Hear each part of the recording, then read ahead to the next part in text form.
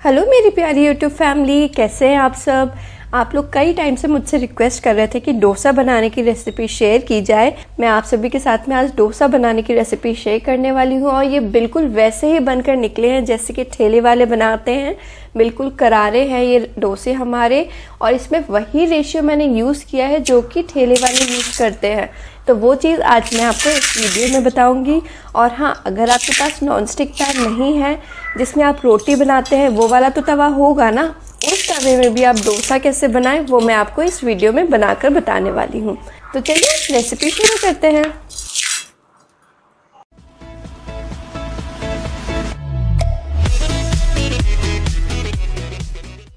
Subscribe कीजिए सोनल की रसोई चैनल को और बेल आइकन को दबाइए। न्यू रेसिपीज़ सबसे पहले देखने के लिए। डोसा बनाने के लिए सबसे पहले हम बैटर रेडी करेंगे। तो एक बड़ा बाउल ले लीजिए। इसमें मैं ले रही हूँ आधा कप उड़द दाल। उड़द दाल दो तरीके की आती है, छिलके वाली और बिना छिलके वाली। यहाँ पर आपको बिना छिलके वाली लेनी है और बिना छिलके वाली भी दो तरीके की आती है। एक साबुत होती है और इस तरीके से एक स्प्लिट होती है। आप कोई सी भी ले सकते हैं। यहाँ पर जो मैं रेशियो यूज़ कर रही हूँ, उसी रेशियो को आप दिमाग में रखते हुए इसकी क्वांटिटी कम या ज़्यादा कर सकते हैं। अब आधे कप दाल के लिए यहाँ पर हमें चाहिए होगा डेढ़ कप चावल। मतलब अगर आपने एक कप दाल ली है तो उसके लिए आपको तीन कप चावल चाहिए। अब यहाँ पर चावल कौन सा लेना है? भाई, मेरे पास ऐसा कोई साउथ इंडियन चावल तो था नहीं। ना तो यहाँ पर मैं पारबॉइल चावल यूज़ कर रही हूँ। जो हम नॉर्मली घर में चावल बनाते हैं खाने के लिए, बस वही चावल आपको यूज़ करना है। साथ में इसमें आप डाल दीजिए एक चम्मच मेथी। मेथी से डोसे का स्वाद अच्छा आता है। दूसरी बात, मेथी डालने से ना, जो बैटर हम बनाएँगे, उसका फर्मेंटेशन काफ़ी अच्छी तरीके से हो जाता है। अब इन सारी चीज़ों को हमें अच्छी तरीके से धुल लेना है। क्योंकि आजकल ना दाल और चावल काफ़ी ज़्यादा पॉलिश होकर आते हैं तो इन्हें आप करीबन दो से तीन बार अच्छी तरीके से धो लीजिए। आप देखेंगे पानी कितना वाइट हो गया है। अब दाल और चावल को धुलने के बाद इसमें हमें डालना है पानी। तो दाल और चावल को मिलाकर जितना क्वांटिटी हुआ है, उतना आपको इसमें पानी डालना है। तो यहाँ पर हमने दाल आधा कप ली थी और चावल डेढ़ कप लिया था तो टोटल यहाँ पर आप दो कप पानी डाल दीजिए।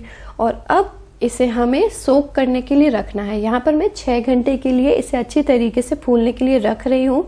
अगर दाल और चावल अच्छी तरीके से नहीं फूलेंगे तो ये आपका बैटर अच्छी तरीके से फर्मेंट नहीं हो पाएगा।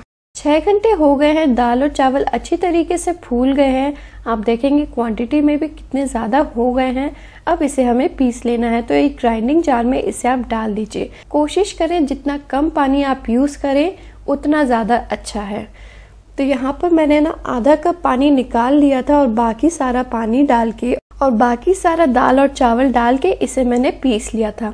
इसे आपको बिल्कुल महीन पीसना है, थोड़ा टाइम लग सकता है, क्योंकि दाल और चावल दोनों ही मिक्सर हैं। यहाँ पर दोनों को पीसने में थोड़ा टाइम लगता है और जब आप इसे पीस लेंगे ना तो आप देखेंगे किस तरीके से बैटर में इस तरीके से बबल्स आ रहे हैं। और आप इसका टेक्सचर देखेंगे ना तो आपको इसमें लगेगा कि हाँ दाने दाने हैं। जैसे कि बारीक वाली सूजी होती है ना, बिल्कुल उसी तरीके से।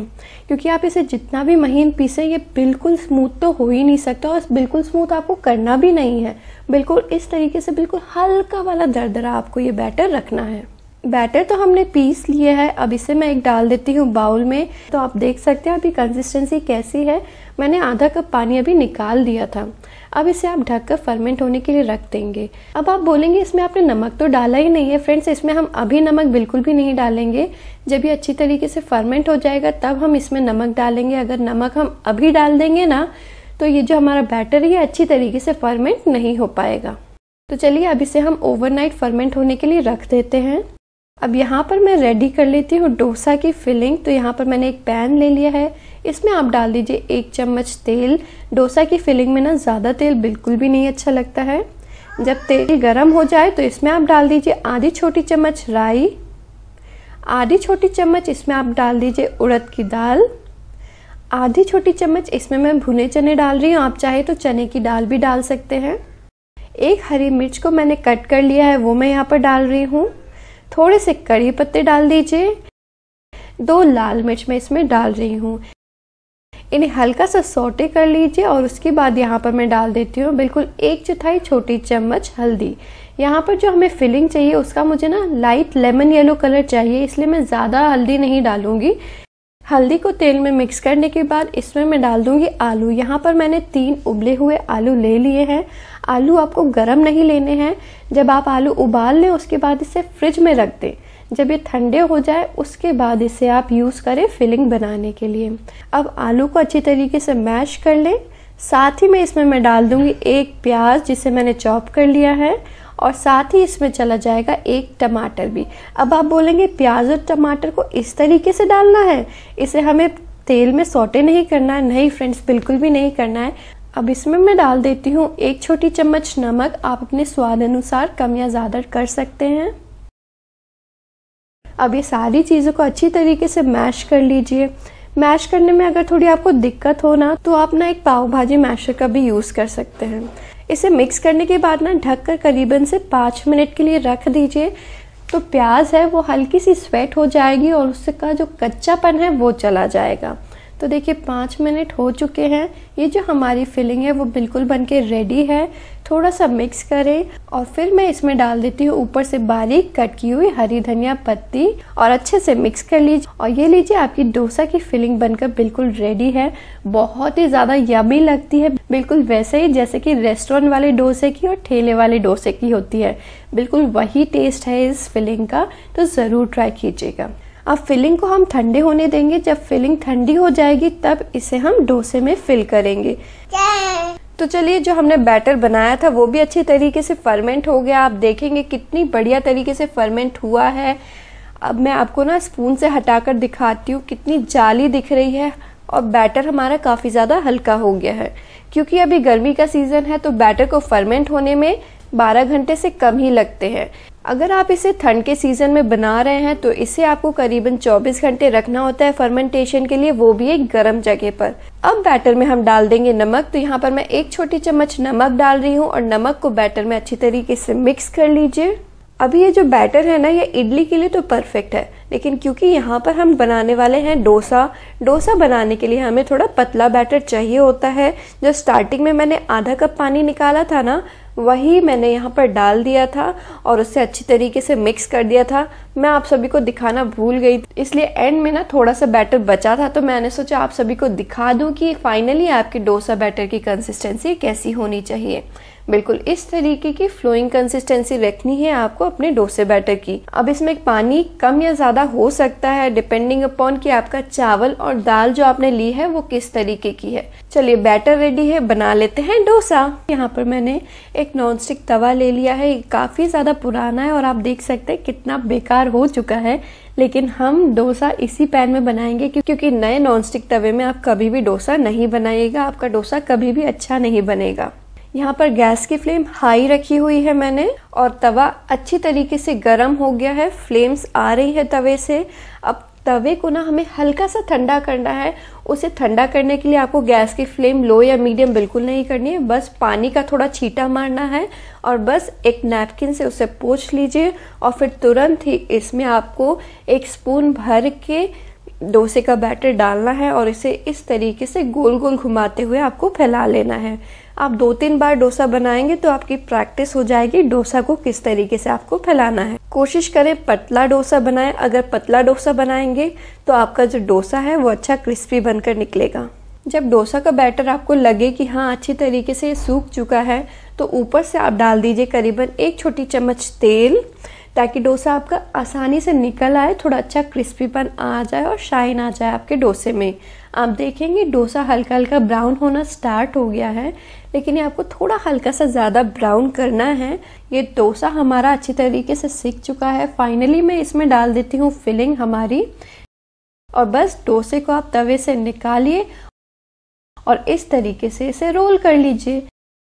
देखिए, कितना बढ़िया डोसा बना है ना। डोसा बनाना कोई रॉकेट साइंस नहीं है, बहुत ही ज़्यादा इजी है। आप भी अपने घरों में आसानी से इसे बना सकते हैं, बस कुछ बातें ध्यान रखनी होती हैं। तो चलिए, ये जो डोसा हमने बनाया था, वो मैंने प्लेट में रख लिया है। अब उसी तवे में वापस से आप पानी का छीटा मारिए। ध्यान रखें, गैस की फ्लेम हाई ही रहनी चाहिए हमेशा। नैपकिन से पानी को हटाने के बाद में इसमें एक स्पून भर के डोसा का बैटर डालिए और उसे इस तरीके से घुमा दीजिए। अगर आपको लगे कि बीच में एक्स्ट्रा डोसा का बैटर है, उसे वापस से स्पून को आपको इस तरीके से घुमाकर स्प्रेड कर लेना है। और जब डोसा सिक जाए तो बस उसे निकाल लीजिए। और पानी का छीटा हम इसलिए मारते हैं क्योंकि अगर आपका तवा बहुत ज़्यादा गर्म होगा तो आप ना डोसा बैटर को अच्छी तरीके से तवे पर नहीं फैला पाएँगे। तो इसलिए हम हाई फ्लेम पे तवे पर छीटा मारते हैं पानी का। तो चलिए, यहाँ पर मैंने ये कुछ डोसे बनाकर रेडी कर लिए हैं। अब बारी आती है, जो आयरन के तवा होता है ना हमारे पास, उसमें हम डोसा कैसे बनाएँ? जो फ्लैट वाला होता है, वो तो सभी के पास होता नहीं है। भाई, मेरे पास भी नहीं है। मेरे पास तो यही है, आयरन का तवा जिसमें हम रोटी बनाते हैं। एक कटोरी में मैंने यहाँ पर थोड़ा सा पानी ले लिया है। इसमें मैं डाल दूँगी एक चम्मच तेल और इस पानी का यूज़ करेंगे हम तवे में छीटा मारने के लिए। गैस की फ्लेम मैंने हाई रखी हुई थी, तवा अच्छा गर्म हो गया है।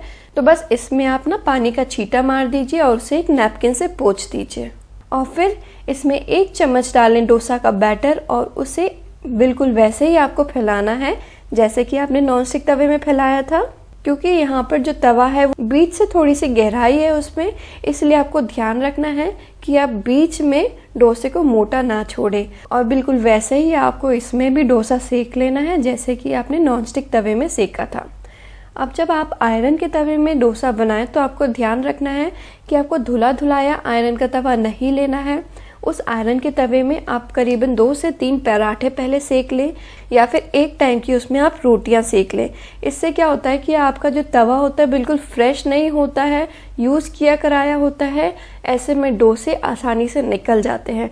अगर आप फ्रेश धुला धुलाया तवा यूज़ करेंगे डोसा बनाने के लिए तो आपका डोसा बिल्कुल भी नहीं निकलेगा और वो तवे से चिपक कर रह जाएगा। और ये देखिए, हमारा डोसा बिल्कुल अच्छी तरीके से निकल गया है। हाँ हल्का सा जल गया था क्योंकि मेरा ध्यान इधर का उधर हो गया था। क्योंकि आपको इधर का उधर नहीं करना है। डोसा सीखने में मात्र दो से ढाई मिनट लगता है। ये ज़रूर ध्यान रखिएगा। तो कम समय में आप ढेर सारे डोसे आराम से बना सकते हैं। और ये भी उतना ही क्रिस्पी और करारा है। देखिए, मैंने इसे भी गोल गोल राउंड शेप में फोल्ड कर लिया है। तो देखिए, मैंने आपकी ये प्रॉब्लम सॉल्व कर दी। अगर आपके पास नॉन स्टिक पैन नहीं है तो आप आसानी से आयरन के तवे में, जिसमें हम रोटी बनाते हैं, उसमें भी आप डोसा बना सकते हैं। चलिए, अब हम इसे सर्व कर लेते हैं। यहाँ पर मैंने सांभर बनाई थी, साथ में नारियल की चटनी बनाई थी और टमाटर की चटनी भी बनाई थी। बिल्कुल वैसे ही, जैसे कि ठेले वाले और रेस्टोरेंट वाले सर्व करते हैं। और बस, लीजिए, हमारा डोसा भी गर्मा गर्म और करारा रेडी है। अब इसे ना मैं आपको तोड़ कर दिखाती हूँ। ये देखिए, कितना क्रिस्पी है। आवाज़ तो आप सुन ही पा रहे होंगे। बिल्कुल, इस सिंपल सी रेसिपी को अपने घर में ट्राई कीजिए। कम इंग्रेडिएंट से बनी है, लेकिन बहुत ही ज़्यादा बढ़िया रेसिपी है। तो आपको ये रेसिपी कैसी लगी है, मुझे नीचे कमेंट सेक्शन में भी लिख के ज़रूर बताइएगा। और अगर अच्छी लगी है तो प्लीज़ अपनी फ्रेंड्स एंड फैमिली के साथ शेयर ज़रूर कीजिएगा। Thank you